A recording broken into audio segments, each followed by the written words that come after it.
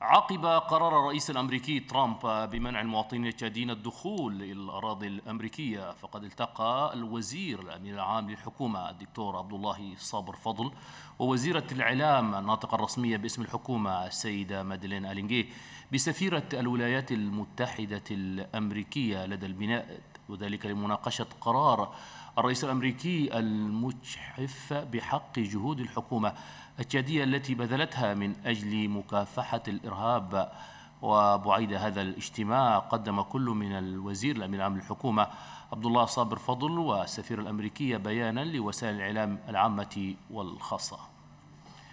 هذا وفي أول رد فعل رسمي للحكومة التشادية حول قرار الرئيس الأمريكي ترامب صرح الوزير الأمين العام للحكومة المكلف بالإصلاح بعد لقائه مع السفيرة الأمريكية عن امتعاض وأسف الحكومة التشادية بهذا القرار المؤسف وغير العادل حيث أنه جاء في وقت قدمت فيه تشاد تضحيات انجسام بشهادة المجتمع الدولي. نتابع ما جاء في حديث الوزير الأمين العام للحكومة. Cette rencontre a été l'occasion de l'ambassadrice. لقد لاحظتم أننا قمنا باستقبال سفيرة الولايات المتحدة الأمريكية أنا وزميلتي وزيرة الإعلام. بسبب غياب وزير الخارجية وقمنا بإجراء هذا اللقاء وتبادلنا أطراف الحديث بصورة جادة. سمحت لنا على فهم الوضع. وبينا فيه اهتمام الحكومة والشعب التشادي تجاه هذا القرار. ونقلنا للسيدة السفيرة شعورنا بعدم عدالة هذا القرار والذي تم نشره. وتبادلنا الأفكار مع السفيرة وقلنا إن تشاد بذلت مجهودات جبارة وقدمت تضحيات كبيرة في نضالها ضد الإرهاب وشعرنا بهذا القرار الذي تجنب العدل قليلا وقمنا بتوضيح البيان وحددنا مستوى العلاقات وتعهدنا على العمل معا. في سبيل ذلك وأكدنا رغبة الحكومة وجاهزيتها للتعامل بحسب الشروط وترسيم سبل التعاون وتبيين الحقائق فيما يتعلق بهذا القرار. وسجلنا نقاطا إيجابية ولاحظنا أن هذا القرار يرمي إلى الجوانب الفنية وليس الإرهاب بعينه. واتفقنا على العديد من النقاط وذلك إن بلادنا قدمت وبذلت الكثير في هذا النضال. وإن سبب حضور سفيرة الولايات المتحدة معنا هنا هو فقط أننا نريد أن نتناول الجوانب المتعلقة بالبيان أو القرار الذي نص على أننا نرعى الإرهاب. ليس هذا ولكن فيما يتعلق بتبادل المعلومات وقد تعاملنا مع السفيرة وحددنا المطلب ووقفنا على أننا نتبادل المعلومات التي هي محور اللقاء. وأن تبادل المعلومات أمر ضروري وفي غاية الأهمية وأتمنى ألا توسع دائرة اتخاذ القرار. وكل ما يتعلق بالأمر يرتبط بالجوانب الفنية. ونحن نسعى إلى معالجة هذه الخطوة ونحدد السبب في ذلك. كما عبرت أيضا السفيرة الأمريكية لدى البرايات عن انطباعاتها بهذا القرار الذي أصدره الرئيس الأمريكي ترامب.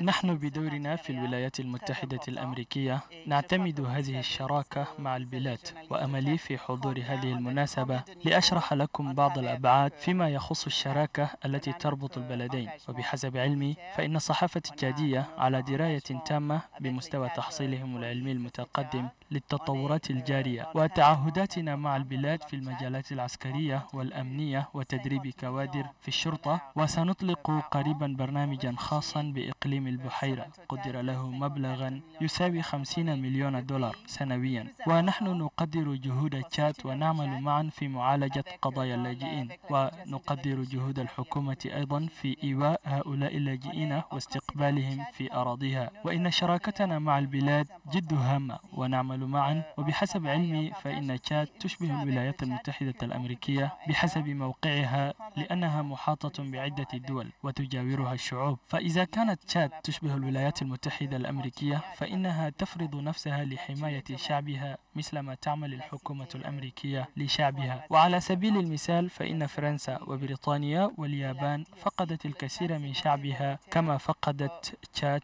أيضا من جهتها لأجل الحصول على السلام والاستقرار. وإن كنا نحن في الولايات المتحدة بعيدين عن تشاد لابد لنا أن نقف مع تشاد ونساعدها في مواجهة التحديات وتمكينها في صنع السلام. وفيما يتعلق بإعلان النتائج الرئاسية فإن رئيس بلادي الذي تربطه مع تشاد شراكة حقيقية يسعى دوما في مواجهة بعض التحديات الأمنية وأنه قد أعلن أن على تشاد تفسير بعض الأمور بشأن الإرهاب وعدم الأمن حتى نتمكن من مساعدة البلاد. ونؤكد أننا دائما مع تشاد ونعمل سويا معها لمواجهة كافة المسائل التي تواجه تشاد. ومما يؤكد ذلك أننا قد ساهمنا في بناء دار بلغت تكلفتها حوالي 122 مليون من الفرنكات الإفريقية. وهو رمز لشراكتنا الحقيقية. في ذات السياق تجول فريق من التلفزيون التشادي لاستطلاع آراء المواطنين حول قرار ترامب بشأن منع المواطنين التشاديين السفر إلى الولايات المتحدة الأمريكية. نتابع الاستطلاع الذي أجراه زميل محمد صالح الحسين. ترامب القرار الذي اتخذه تجاه تشاد أنا أشوف القرار ده ما صائب. يعني قرار مخطئ جدا. تشاد ما عملت يعني شيء كده لحد للأمم المتحدة أو لأمريكا. أو ترامب يتخذ قرار كهذا يعني. مشينا في كاميرون في مالي في سنترافريك كله كان ايدي ناس ما نعرف ما علينا نكري شغل نمشي ياتو نداوسو دولة ما اللي ما يورو لنا. كان دارونا من أمريكا كله. الله اللي ما يقولنا داني نما محاسبين فوا الرئيس دولان ترامب ده كلامه ده ما في دربه أن تشادين دفعنا الثمن كبير في مشكلة هنا تشاد الإرهاب ده أننا بس هسه حاربنا. دورة كي شغل البيجي بيقول جنرال ترامب حاجة فوق تشادين ما يمشي هناك ده شنو؟ أن تشادين ما ناس الكريمينال. دونك الناس اللي يمشي يسووا شغل الهالات يزوردوا ده ما تشادين تشادين كان كثير ديفاندر. ناس ما أدري ما يسووا ناس هوان. تشاد يعني قدمت كثيرا معنويا وماديا في محاربة الإرهاب. والعالم كذلك كله يعرفه حتى انتخبت في مجلس الأمن وكانت من ضمن الدول الغير دائمة في مجلس الأمن. أنا رأيي إنه القرار ده غلط إنه تشاد ما بتدعم الإرهاب بالعكس تشاد من الدول اللي بتساعد إنه يكون الإرهاب ده يعني الإرهاب ده يختفي من البلد من حسب رأيي أنا يعني رأي ترامب رأي قاضي صراحة لأنه تشاد يكون له حمى إنه تهارب الارهاب وتضع السلامة في كل الأماكن.